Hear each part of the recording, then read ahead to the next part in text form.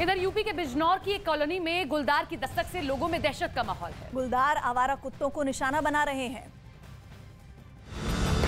रात के अंधेरे में गुलदार आया और कुत्तों पर धावा बोल दिया। ये घटना एक घर के बाहर लगे सीसीटीवी कैमरे में रिकॉर्ड हो गई। आए दिन गुलदार आवारा कुत्तों और इंसानों पर हमला कर रहा है।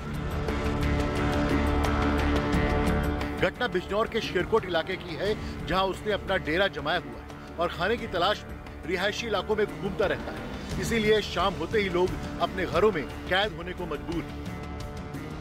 वन विभाग से गुलदार को पकड़ने की शिकायत की गई, लेकिन अभी तक कोई समाधान नहीं निकला, जिससे लोगों में खौफ का माहौल है।